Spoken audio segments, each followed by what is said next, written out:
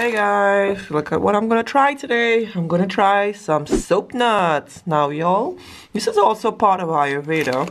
And if you haven't even heard of it, that's okay because it can be used as a natural shampoo and even for laundry detergent. But I'm not gonna use it for laundry. I'm gonna use it for my hair, to wash my hair from time to time.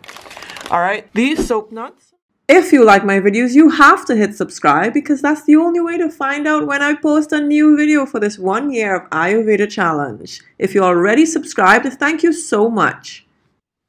They actually have, they come with outer shell and sometimes they sell it to you with an inner um, seed. But the inner seed doesn't matter. It's the outer shell that gives you the sudsing effect or it actually contains the saponins that are responsible for cleansing your hair and cleaning your hair and the outer shell is what you really want. So let's open it up and get to it.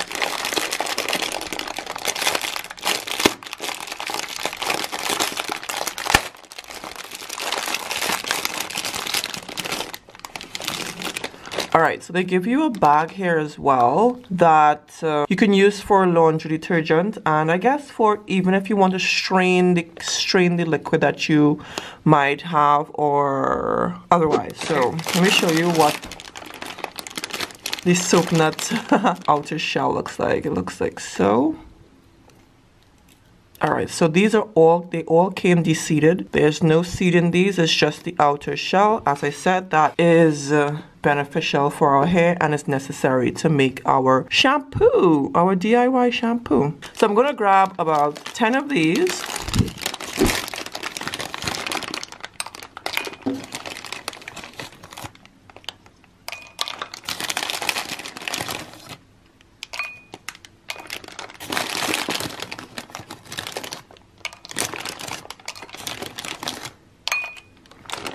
Alright, so that's all I'm going to use for now.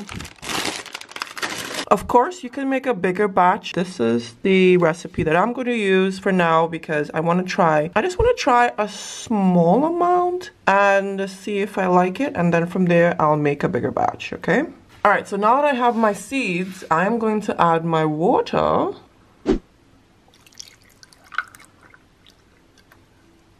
Alright, so that's water that has been boiled and now it's cool. So it's cool water that I'm putting in here. You can actually see the suds created already. Look, it actually is creating bubbles already. And I haven't even done anything yet. So I'm going to leave this to soak for 24 hours. So this is 24 hours since I've had this soaking. And you can see it's very, very soft.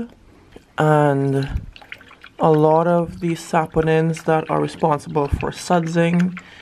I'm going to blend this and make a concentrate.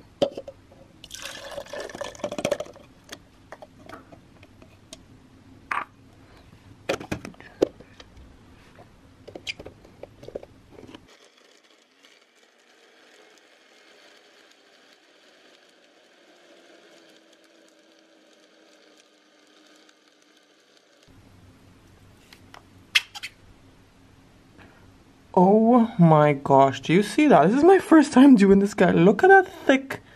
This is so thick. Y'all, that's what we're going to use to wash our hair. So what I have to do, just for this to liquefy again, I would leave it for a couple hours to liquefy. That is amazing. Look at that. It smells so good too. Guys, look at that. That is pretty cool. This is, look at how thick this is.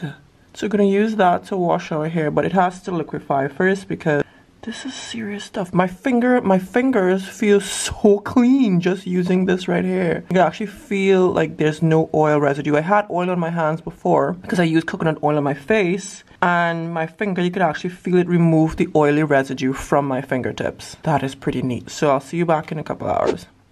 Alright, so it has been two hours since I left the blended soap nuts to rest and the foam to liquefy again. So here it is, guys. That's what it looks like after you've blended it and it has like liquefied again. What I'm going to do, I'm going to strain this and you can store this in your fridge until you are ready to use and it will be fine. It doesn't it takes weeks before it spoils. So you should be fine leaving it in the fridge. If you do not feel comfortable leaving this in the fridge you can freeze it.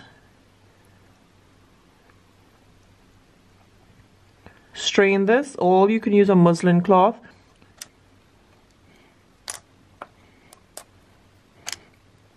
So this is soap nut concentrate. Isn't that amazing? This is to be the base for our shampoo. I am so excited. As I said, you can keep this mixture in the fridge and use a little as you want as you can and use it a little at a time in order to wash your hair. So i'm going to give you a recipe to actually make your own shampoo from this. Hey so we are about to make our shampoo so let's do this. So i have my jar here to make my shampoo. I have my soap nut liquid here and also i have some some aloe vera juice here. So I'm going to combine them together and the ingredients will be below in the description box, okay? All right, so let me grab my jar. I'm going to combine it all. My soap nuts liquid, my apple cider liquid, essential oils. You can add lavender, rosemary, and uh, some lemon essential oil. All right, so I'm just adding rosemary for now going to just cover this up and shake it. Shake it. You're gonna keep shaking until you get a desired liquid. Alright, so my hair is damp. This is what it looks like so far. And I'm going to apply to my hair. Of course, you can add it to an applicator bottle to make it much easier to apply, but I can't find one right now. So I'm going to just pour it into my hand and apply to my hair and my scalp, okay? Alright, yeah, so let's try to apply this mixture probably gonna be a little bit messy. I think this is enough for only half my hair, so I have a feeling I'm gonna make some more. Remember the strict instructions and the my hair. Alright, so I'm gonna do my scalp first. I will do the length of my hair.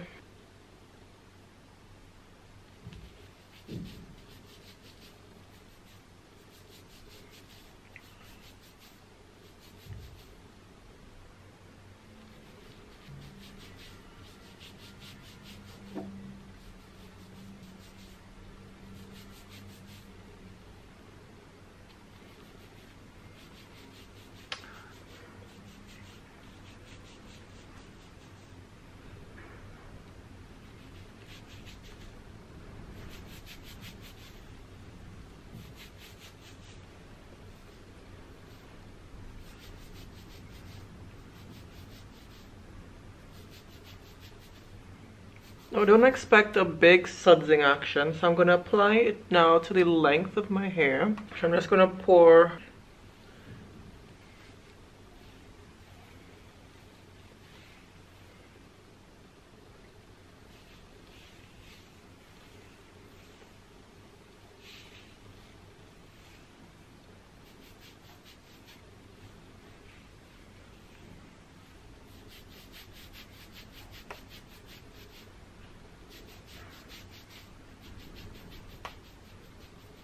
what my hair looks like after I've used it.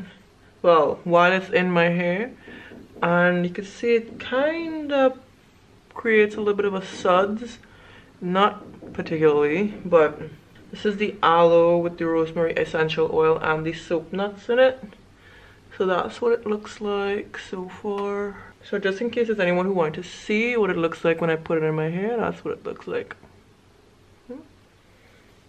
Alright, so I'm almost finished and then I would leave it in for about half an hour and then I would rinse it out. Alright, so I rinsed out the soap nuts and aloe and y'all my hair feels, ooh, feels, ooh. Just wiping my face, my lips. Okay, my hair feels clean and moisturized but not stripped. So I followed up with an apple cider vinegar rinse as well. And yeah, this is what it looks like. My hair feels really voluminous. yeah, because usually my hair feels kind of flat when it's washed.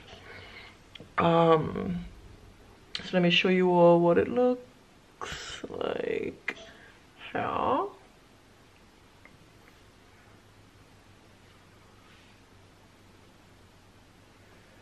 Alright, so I'm gonna let this dry until tomorrow because I did an apple cider vinegar rinse, so I want this smell to sort of dissipate. And then tomorrow I'm gonna apply my new fenugreek spritz with aloe, some MSM, and some oil and that's what I'm to use tomorrow and I'm excited to use it again.